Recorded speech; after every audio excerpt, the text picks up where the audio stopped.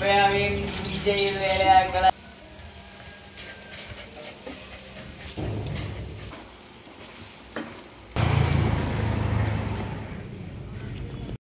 hello friends welcome to our channel இன்றைக்கி நம்மளோட சேனலில் சண்டே விலாக் தான் பார்க்க போகிறீங்க சண்டே மார்னிங் ஒரு டென் ஓ கிளாக்லேருந்து ஈவினிங் ஒரு செவன் தேர்ட்டி வரைக்கும் உள்ள விலாக் தான் நீங்கள் வந்து பார்க்க போகிறீங்க கிச்சன் பார்த்திங்கன்னா நல்லா நீட்டாக க்ளீன் பண்ணி போட்டாச்சு. இனி தான் வந்து குக்கிங் பண்ணணும்.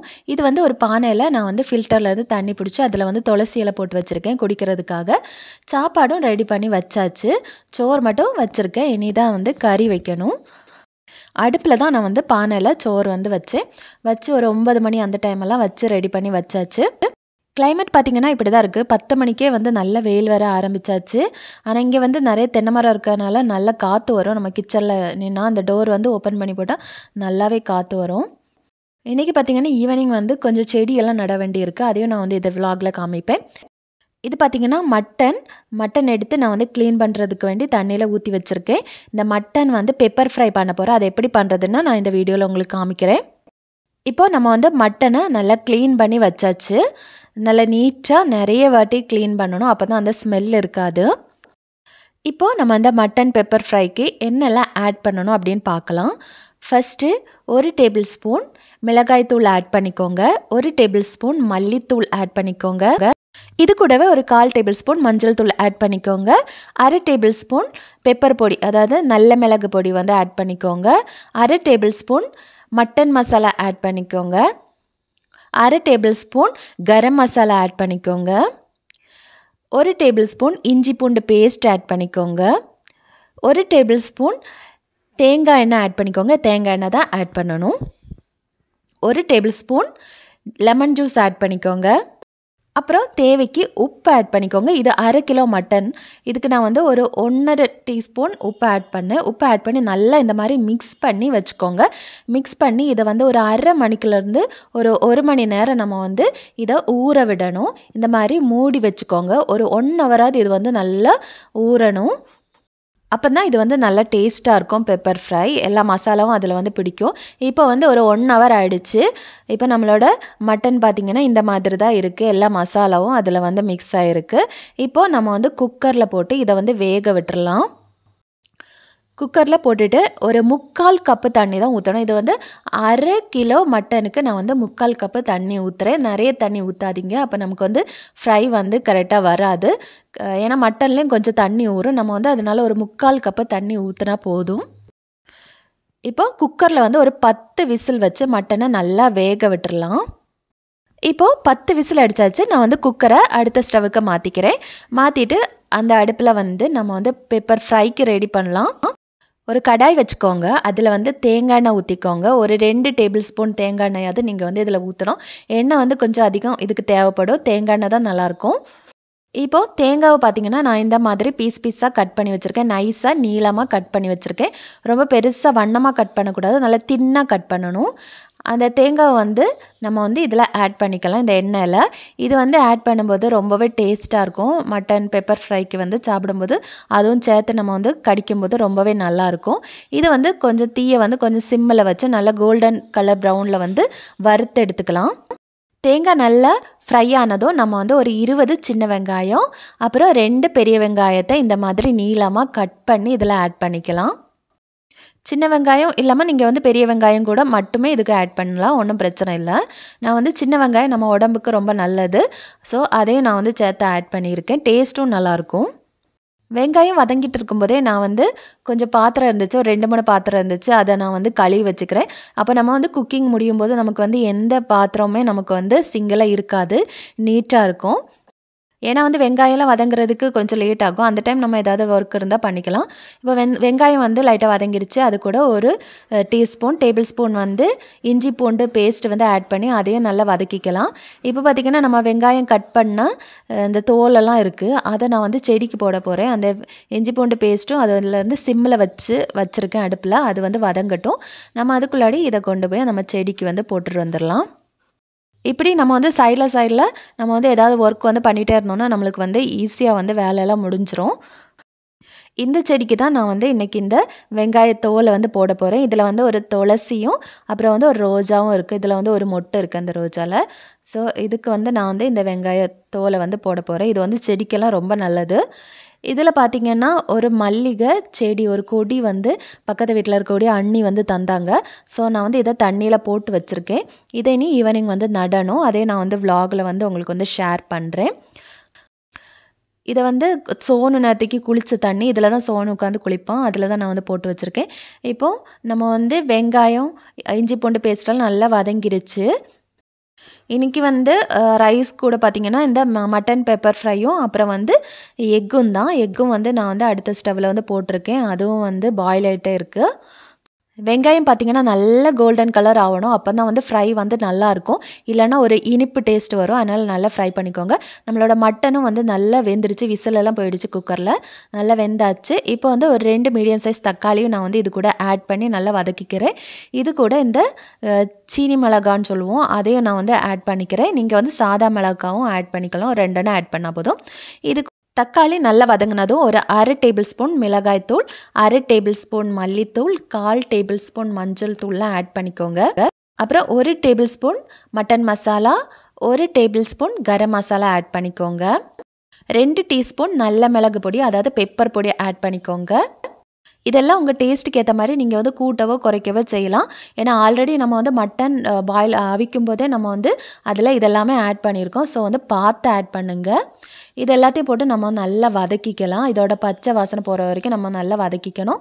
நல்லா வதங்கியாச்சு. இப்போ நம்ம வந்து வேக வச்சுருக்கக்கூடிய மட்டனை வந்து இதில் ஆட் பண்ணிக்கலாம். பார்த்திங்கன்னா இவ்வளோ தண்ணி இருக்குது நம்ம வந்து முக்கால் கப்பு தண்ணி தான் ஊற்றணும் எல்லா தண்ணியும் அப்படியே இருக்குது ஸோ நிறைய தண்ணி வந்து ஊற்றாமல் நீங்கள் வந்து வேக வைங்க.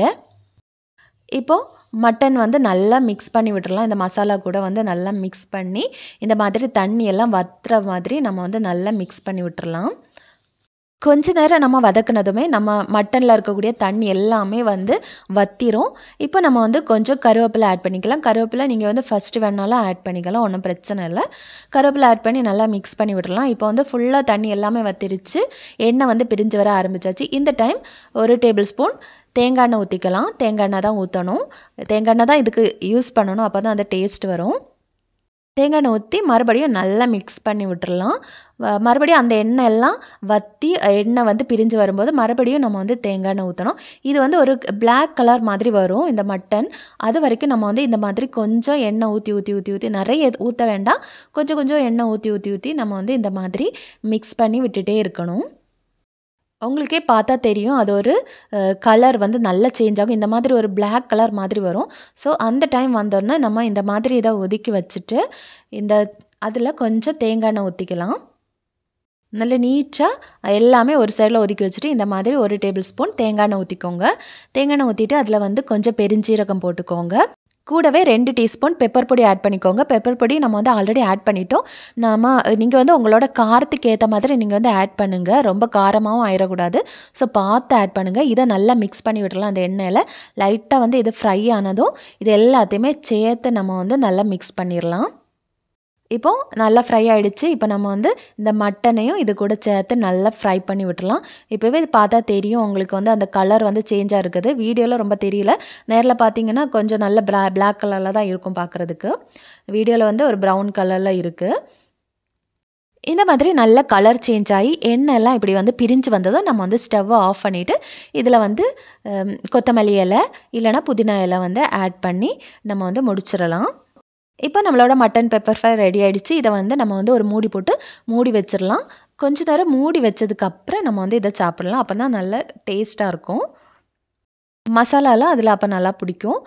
ஸோ நம்மளோட மட்டன் பெப்பர் ஃப்ரை பார்த்திங்கன்னா இப்படி தான் இருக்குது ரொம்பவே டேஸ்ட்டாக இருக்கும். நீங்களும் ட்ரை பண்ணுங்கள் காரம் ஆட் பண்ணும்போது மட்டும் கொஞ்சம் பார்த்து ஆட் பண்ணுங்கள் நீங்கள் வந்து கம்மியாக காரம் எடுக்கிறவங்களா இருந்தால் கொஞ்சம் குறவை ஆட் பண்ணிக்கோங்க. இன்றைக்கி பார்த்தீங்கன்னா நம்மளோட லஞ்ச் வந்து இதுதான். மட்டன் பெப்பர் ஃப்ரையும் அப்புறம் வந்து எக்கும். இது வச்சு மட்டுமே ஹஸ்பண்ட் சாப்பிட்றேன்னு சொன்னாங்க. ஸோ வந்து சைட் டிஷ் வேறு எதுவுமே நான் வைக்கல. ரசம் வைக்கலான்னு நினச்சேன். அப்புறம் வைக்கலை. இது மட்டும் வச்சு சாப்பிட்றேன்னு சொன்னாங்க. இப்போ வந்து சோனு வந்து நாங்களாம் சாப்பிட்டாச்சு. சோனு வந்து இப்போ சாப்பிட்டுட்டு ஸோன்னு பார்த்தீங்கன்னா மீன் வச்சா மட்டும்தான் ரைஸ் வந்து நல்லா சாப்பிடுவான். இல்லைன்னா வந்து சிக்கனோ மட்டனாக இருந்தால் அது மட்டும்தான் சாப்பிடுவோம் ரைஸ் சாப்பிடவே மாட்டான். இப்போ குக்கிங் எல்லாம் முடிஞ்சு கிச்சன் வந்து இந்த லெவலில் தான் இருக்குது அப்பப்போ வந்து பிளேட்ஸ் எல்லாம் வாஷ் பண்ணி வச்சு ஆனாலும் வந்து முடிஞ்சதுக்கப்புறம் இவ்வளோ பிளேட்ஸ் வந்து வாஷ் பண்ண வேண்டி இருக்குது ஸோ இது எல்லாத்தையுமே வந்து இப்போ வாஷ் பண்ணி வச்சிடலாம். இது எல்லாத்தையுமே இப்போ வந்து சிங்குக்குள்ளே போட்டுட்டு அப்புறம் வந்து வாஷ் பண்ணிடலாம். இப்போது எல்லா பிளேட்ஸ் எல்லாமே வாஷ் பண்ணி கிச்சனை வந்து நல்லா நீட்டாக க்ளீன் பண்ணி போட்டாச்சு. இனி கிச்சனில் இப்போதைக்கு எந்த ஒர்க்கும் இல்லை. நமக்கு வந்து நைட்டு தான். கிச்சனில் வந்து சாப்பாடு வந்து ரெடி பண்ணணும். வேறு எந்த வேலையும் இல்லை. சோனு பார்த்தீங்கன்னா வெளியே நின்றுட்டுருக்கேன் நான் வந்து கிச்சனில் இருக்கக்கூடிய மேட்டையும் காய போட்டுட்டு அது வந்து ஈரமாக இருந்துச்சு. ஸோ குக்கிங் முடிஞ்சு க்ளீனிங் முடிஞ்சு நான் வந்து ஃப்ரெஷ் ஆகி வந்துட்டேன். எனக்கு வந்து டியூஷன் இருக்குது ரெண்டு மணிக்கு. டென்த்து ஸ்டூடெண்ட்டுக்கு மட்டும் டியூஷன் இருக்குது அவங்க வந்து இருந்து படிச்சுட்ருக்காங்க அவங்களுக்கு இன்னும் டூ ஆர் த்ரீ டேஸில் வந்து எக்ஸாம் வந்து ஸ்டார்ட் ஆகுது. அதனால சண்டேனாலும் டியூஷன் வச்சுருக்கேன். வந்திருந்து எல்லோரும் படிச்சுட்ருக்காங்க அவங்க டியூஷன் முடிச்சு போனதும் நான் வந்து எனக்கு செடி வந்து நட வேண்டி இருந்துச்சு அதெல்லாம் வந்து பண்ணிகிட்டு இருந்தேன். பார்த்திங்கன்னா பார்த்தீங்கன்னா சோனு வந்து என் பின்னாடியே சுற்றிட்டே இருப்பான். அந்த மல்லிகை செடி காமிச்சேன்ல அதை தான் நான் வந்து இப்போ வந்து இந்த க்ரோ பேக்கில் வந்து நட போகிறேன் இந்த க்ரோ பேக்கில் பார்த்தீங்கன்னா ஒரு தக்காளி செடியும் ஒரு வெண்டைக்காய் செடியோ கத்திரிக்காய் செடியும் தெரில ஏதோ ஒரு செடி நின்றுச்சு அது ரெண்டையும் நான் வந்து பிடுங்கி வச்சுருக்கேன். நீ வேறு ஒரு பாத்திர டப்பாவில் வந்து அதை நடணும். இதில் வந்து இப்போ இந்த மல்லிகை செடியை வந்து நட்டு இதை வந்து மேலே வந்து மாடியில் கொண்டு போய் கனெக்ட் பண்ணலாம் அப்படின்னு நினைக்கிறேன். செடி வளர்க்குறது அதில் வந்து பூ பூக்கிறதெல்லாம் பார்க்குறதுக்கு தனி சந்தோஷமாக தான் இருக்குது ஸோ வந்து இப்போ வந்து செடி நட நடுறதுக்கு வந்து எனக்கு வந்து ரொம்பவே இன்ட்ரெஸ்ட்டாக இருக்குது சில சமயம் நம்மளோட வாழ்க்கையில் நம்ம வந்து ஏதாவது ஒரு விஷயத்தை பற்றி நல்லா ஓவர் திங்கிங் பண்ணிக்கிட்டே இருப்போம். அதையே நினச்சிட்டே இருப்போம். அதை வந்து என்ன பண்ணாலுமே நம்மளுக்கு வந்து சரி சரியாகாது. அந்த டைம் நம்ம வந்து இந்த மாதிரி செடி வளர்க்குறது கிராஃப்ட் பண்ணுறது அந்த மாதிரி ஏதாவது பண்ணும்போது நம்மளோட மனசில் வந்து அந்த ஓவர் திங்கிங் வந்து வராது. நம்மளோட கான்சன்ட்ரேஷன் ஃபுல்லாகவே இதில் தான் இருக்கும். மைண்டும் வந்து நல்லா ரிலாக்ஸ் ஆகும். நீங்கள் வந்து ட்ரை பண்ணி பாருங்கள் அந்த ஓவர் திங்கிங் பண்ணுறவங்க நிறைய பேர் இருப்பீங்க. ஏதாவது ஒரு விஷயம்னா அதையே நினச்சிட்டு இருக்கவங்க அதுக்கு மட்டும் இல்லாமல் இன்னொரு டிப் என்னென்னு பார்த்தீங்கன்னா ஓவர் திங்க் பண்ணுறத வந்து ரெடியூஸ் பண்ணுறதுக்கு நம்ம வந்து காலையில் எந்திரிச்சதுமே நமக்கு வந்து அந்த விஷயம் வந்து ஞாபகத்தில் இருக்கும். என்ன நடக்கும் என்ன நடக்கும் அப்படிங்கிறத வந்து ஓவர் திங்க் பண்ணிகிட்டே இருப்போம் ஏதாவது ஒரு விஷயத்தை நினச்சி. ஸோ காலையில் எந்திரிச்சதுமே நம்ம வந்து எதை பற்றியுமே நினைக்காம இன்றைக்கி நாளில் இந்த டுவெண்ட்டி ஃபோர் ஹவர்ஸில் என்ன நடக்கும் என்ன நம்ம வந்து பண்ண போகிறோம் அதை மட்டுமே நினச்சி அதையே நம்ம வந்து ஃபோக்கஸ் பண்ணி பண்ணிகிட்டே இருக்கும்போது நம்மளுக்கு வந்து அந்த விஷயம் வந்து ஞாபகத்துக்கு வராது. அந்த ஓவர் திங்க் பண்ணுறது வந்து ரெடியூஸ் ஆகும். நீங்கள் வந்து ட்ரை பண்ணி பாருங்கள் அந்த டுவெண்ட்டி ஃபோர் ஹவர்ஸில் இன்றைக்கி நம்ம வந்து என்ன பண்ண போகிறோம் அப்படிங்கிறத மட்டும் நம்ம வந்து நினச்சிட்டே இருக்கணும். இந்த க்ரோ பேக்கில் பார்த்தீங்கன்னா மண் வந்து கொஞ்சம் கம்மியாக இருந்துச்சு. இதில் வந்து ஃபுல்லாக வந்து அந்த இலை காஞ்ச இலைகள் தான் நிறைய இருந்துச்சு. மண் வந்து குறவாக இருந்துச்சு. ஸோ நான் வந்து மண்ணை வந்து எடுத்து எடுத்து இதில் வந்து போட்டு நிரப்பிட்டுருக்கேன் அங்கே பார்த்தீங்கன்னா சோனு வந்து நல்லா மண்ணை தோண்டி தோண்டி போட்டிருந்தான். அதுக்கு எப்போவுமே அதுதான் பிடிக்கும். மண்ணை தோண்டி அதில் படுக்கிறது ரொம்ப பிடிக்கும். ஸோ வந்து மண்ணெல்லாம் நல்லா லூஸாக இருந்துச்சு. எனக்கு வந்து எடுக்கிறதுக்கு ரொம்பவே ஈஸியாக இருந்து. ஸோ அதெல்லாம் எடுத்து எடுத்து நான் வந்து இந்த க்ரோ பேக் ஃபுல்லாகவே நிரப்பி விட்டுட்டேன். சோனு வந்து ஒரு டைம் ஆனோன்னா உள்ளே வந்துடுவான் அப்புறம் வந்து வெளியே போக மாட்டேன். ஏன்னா அவ்வளோ வெயிலாக இருக்கும். இப்போ பார்த்தீங்கன்னா மேலே ஒரு செடி இருக்குது இதுலேயும் வந்து மண் குறவாக இருந்துச்சு. அதுலேயும் நான் வந்து மண் போட்டுட்ருக்கேன். மண் போட்டு வந்து தண்ணி ஊற்றிட்டேன் அந்த மல்லிகை கொடியை வந்து இந்த பக்கம் இப்படி போட்டு விட்ருக்கேன் இப்போது அது வந்து நல்லா தழுத்ததுக்கப்புறம் எடுத்து வந்து மாடியில் வந்து அதை எங்கேயாவது வந்து கெட்டி வைக்கணும். மாடியில் படத்தி விடணும். இந்த ரெண்டு செடியும் தான் அந்த க்ரோ பேக்கில் நின்றுச்சு அதை வந்து இந்த டப்பாவில் வந்து நான் வந்து நட்டு வச்சுட்டேன். அதில் வந்து இது என்ன செடி? ஒன்று வந்து தக்காளி செடி. அதுக்கப்புறம் வந்து இன்னொன்று கத்திரிக்காவா வெண்டைக்கான்னு தெரில அந்த ரெண்டு செடியும் நிற்கிது இப்போ செடியெல்லாம் நட்டாச்சு. இனி வந்து நான் வந்து செடிக்கு வந்து தண்ணி ஊற்றணும் ஸோ சோனு வந்து கட்ட போனேன். அது வந்து ஓடிடுச்சு. ஏன்னா வந்து அது தண்ணி ஊற்றும் போது அதில் வந்து படுத்துக்கும். படுத்து வந்து வீட்டுக்குள்ளாடி வந்து ஃபுல்லாக தொழியாக்கி வச்சிரும். மண்ணெல்லாம் வந்து வீட்டில் கொண்டு தேய்ச்சி வைக்கும். ஸோ வந்து அது கெட்டலான்னு பார்த்தா அது வரவே இல்லை. அது வந்து ஓடிக்கிட்டே இருந்துச்சு. அப்புறம் வந்து அதை விட்டாச்சு. அதை எங்கேயோ போய் படுத்துச்சு. தொழிலில் வரல. அப்புறம் வந்து செடிக்கு தண்ணியெல்லாம் ஊற்றிட்டு நான் வந்து பிச்சிப்பூ வந்து நிறைய கிடந்துச்சு. அதை வந்து நிறைய இல்லை கொஞ்சோண்டு கிடந்துச்சு. அதை வந்து பறிச்சிட்டு இருந்தேன்.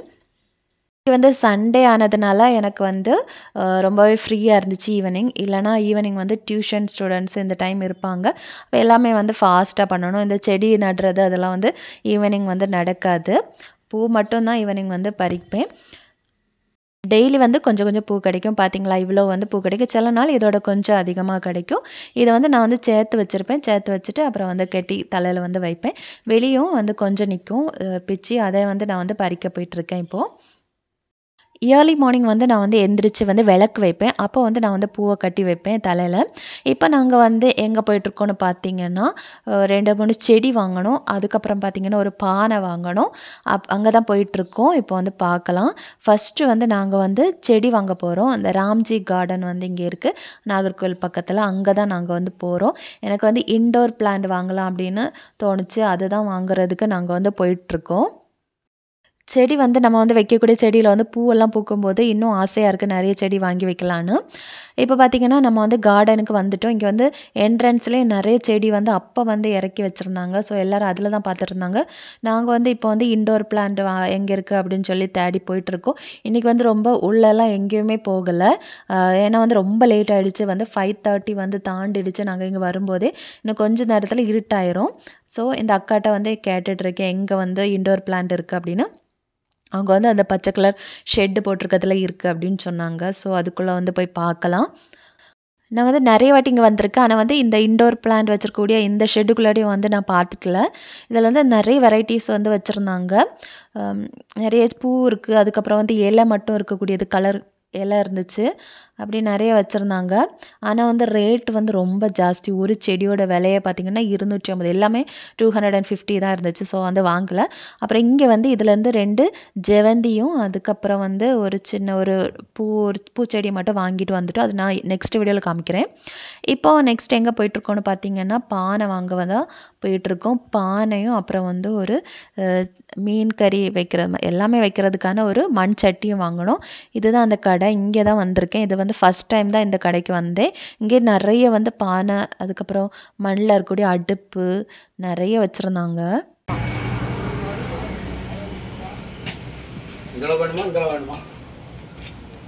இதோட சின்னது போதும். சும்மா.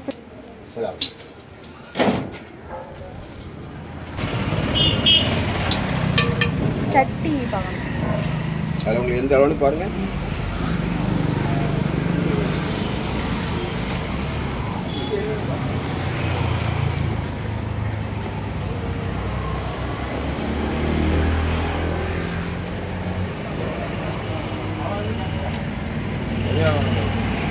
பறந்து கொடுக்கும் ஆனால் இதை விட இது எவ்வளவோ உழைப்பு ஜாஸ்தி நல்லா. அது. பெரிய மூடி வேணா வேலை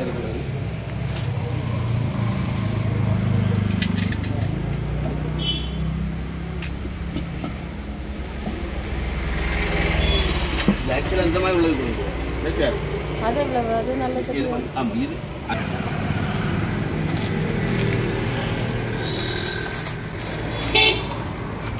இப்படி தான் பேக் பண்ணி வரும்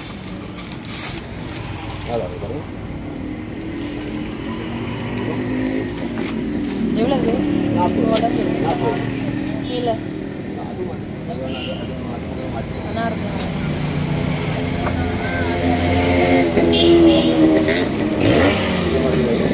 இல்லை இல்லை இல்லை இந்தியா அது இல்லை இல்லை அது இருக்கு பதி அப்படியே போமா கேட்டா அப்புறம் நாங்கள் வந்து சட்டியெல்லாம் வாங்கிட்டு அப்புறம் வந்து ஃப்ரூட்ஸ் வாங்க வந்தோம். ஃப்ரூட்ஸ் அது ஆப்போசிட்லேயே ஒரு கடையில் நிறைய ஃப்ரூட்ஸ் இருந்துச்சு. அங்கே வந்து வாங்கிட்டுருக்கோம் இது வந்து பார்த்திங்கன்னா நாகர்கோவில் பக்கத்தில் பீச் ரோட் பக்கத்தில் ஒத்த கடை அப்படிங்கிற இடத்துல இருக்குது இந்த கடை. இந்த மண்பானை கடை. இந்த அந்த பானையும் அப்புறம் இந்த சட்டி அதுக்கப்புறம் வந்து இருக்கு ஒரு மூடி அதுக்கப்புறம் பார்த்திங்கன்னா ஒரு பவுல் மாதிரி ஒன்று வாங்கியிருந்தேன். இந்த ஃப்ரூட்ஸ் வந்து ஆரஞ்சு அப்புறம் வந்து மேங்கோலாம் வாங்கியிருந்தேன். இந்த பவுலும் வந்து நான் வாங்கியிருந்தேன். அதுக்கப்புறம் பார்த்திங்கன்னா இந்த சாம்பிராணி வைக்கக்கூடியது கம்ப்யூட்டர் சாம்பிராணி வைக்கிறது ஒன்று வாங்கியிருந்தேன். சோனு வந்து ஹீட் தாங்க முடியாமல் இப்படி தான் அந்த மண்ணில் ஈரமான மண்ணில் வந்து படுத்திருக்கும். எப்படி குளிப்பாட்டினாலும் அது வந்து சோப்பு கலராக மாறிடும் மாம்பழம் சாப்பிட்டு வந்து ரொம்ப நாள் ஆச்சு. அதனால் வந்து வந்த உடனே நான் வந்து மாம்பழத்தை கட் பண்ணி சாப்பிட ஸ்டார்ட் பண்ணிட்டேன். ஒரு தர்பூசணியோட பாதியும் கட் பண்ணி வச்சுருந்தேன் சாப்பிட்றதுக்கு. இவ்வளோ தான் இன்றைக்குள்ள விலாகு எங்கள் சேனல் வந்து உங்களுக்கு பிடிச்சிருந்துச்சுன்னா சப்ஸ்கிரைப் பண்ணுங்கள் கமெண்ட் பண்ணுங்கள் லைக் பண்ணுங்கள் மறக்காமல் பக்கத்தில் கூட பெல் பட்டனை ப்ரெஸ் பண்ணுங்கள் தேங்க்யூ